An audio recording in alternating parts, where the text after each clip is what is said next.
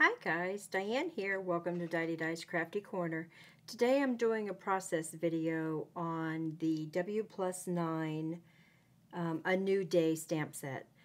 And I am actually going to be giving this away if you follow my last video. You can go over and check out how you can win this and some other prizes but I wanted, I have used, um, I have done quite a few cards with this one, and today I wanted to give it a try in blue.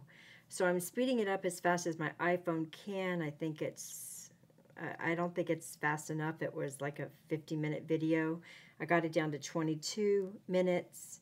So I'm just going to go ahead and um, play some music and let you watch it basically it's just stamping and coloring and the process that I took to get there. So I hope you guys enjoy.